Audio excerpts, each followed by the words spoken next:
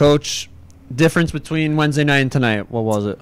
Yeah, I think that we're continually getting better um, without the puck. Like we were challenged by a really talented team in the 17s. There, they've got some high-end players, and when you give them chances, uh, they're going to make you pay. And I felt like for the vast majority of the game, we carried the play. Um, I thought we had some interesting calls there when. Uh, could have could have made the game a little bit more comfortable for us that I thought were goals, but you can't really control that stuff. And I thought our guys battled really well, giving up an early goal in the uh, start of the third. There, uh, we battled back and found a way with a shootout win, which is always nice.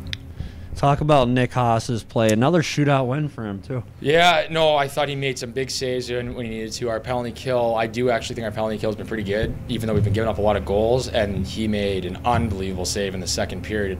Um, you know, have two back-to-back kills, and it's tough to kill back-to-back. And right at the end of it, he makes a huge save. I think it stabilized uh, the game for us, and he made some big saves in the overtime. Did a great job in the shootout. Really proud of the kid. So 17s tonight, 18s tomorrow night. What do you want to see out of your team, if anything different? Well, I thought that was the best we've played five on five. Um, you just you know, for anyone that watches this play, you started to see more of our style of play. Um, obviously, it's still mistakes, but there's always going to be mistakes. I thought we got better there. Um, we're going to be challenged by a really talented team again.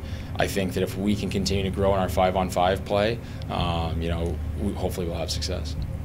It seemed like uh, maybe halfway through the game, it kind of split into two different halves. The first half, maybe like fire wagon hockey, sort of trading chances, fast and loose. Mm-hmm. Second half, kind of settled down. Both teams seemed a little bit more controlled given your choice, which would you rather have your team play? Yeah, I, I didn't see it the game that way. I, I know that uh, I don't want to I don't want to play like trading chances. I want to control the game.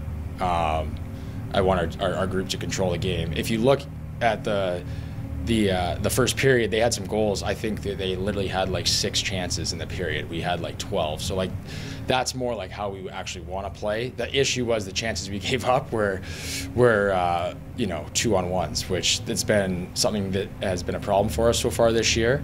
Uh, but we're working through that, and I think that we'll clean that up down the road.